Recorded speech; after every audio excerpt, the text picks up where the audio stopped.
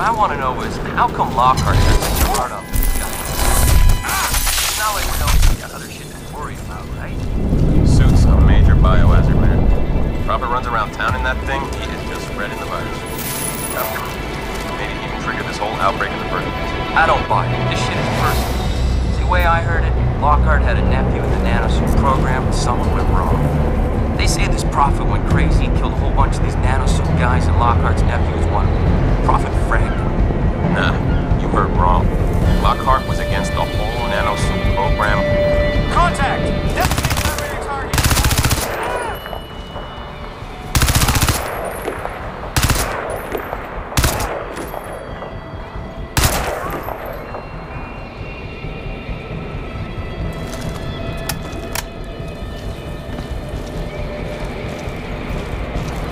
Prophet, listen.